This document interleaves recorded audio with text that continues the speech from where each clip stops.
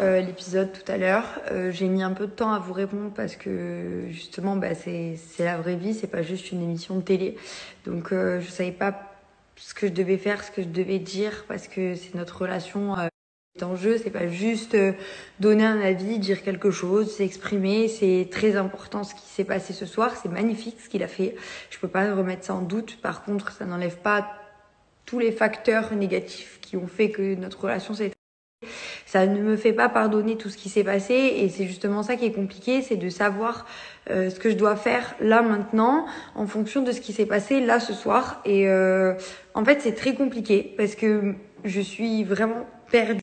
Je ne sais pas où j'en suis, je ne sais pas quoi faire, quoi dire. Je, je demande aussi de vous mettre à ma place. Vous n'avez pas les tenants et les aboutissants, et donc je peux comprendre votre incompréhension, je peux comprendre euh, ce que vous pensez, je peux comprendre euh, votre mécontentement, toutes les critiques, je peux tout encaisser. C'est pas ça le problème. Le problème, c'est qu'à l'heure d'aujourd'hui, ben, je ne sais pas quoi faire, je ne sais pas quoi dire, parce que c'est pas euh, un un magnifique montage vidéo de notre relation d'avant qui va changer ce qui s'est passé après.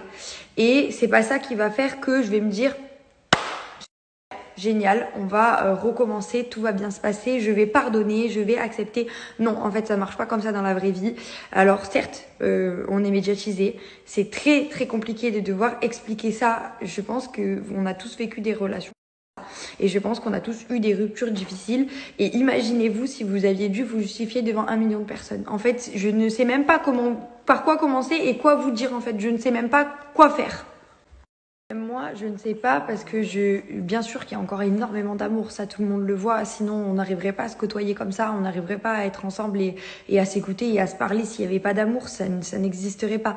Mais il y a énormément de rancœur, il y a énormément de haine et je vous toute transparence, c'est ce qui se passe actuellement, c'est que je n'arrive pas à décider entre mon cœur et ma tête.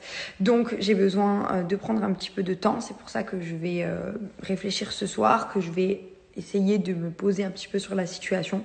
En tout cas, remercie énormément pour tous vos messages. Vous êtes euh, juste géniaux parce que tous vos messages m'apportent énormément de soutien, énormément de réconfort. Ça me permet aussi de, savoir un petit peu est-ce que vous, vous vivez dans vos vies? Est-ce que, et sur ce à quoi je peux me rapporter?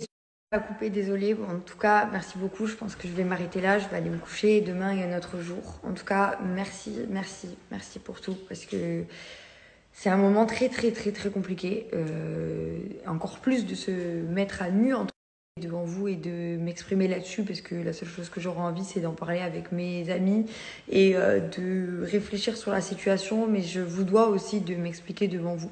Donc euh, je le fais et euh, j'espère que demain ça aura un petit peu dans ma tête.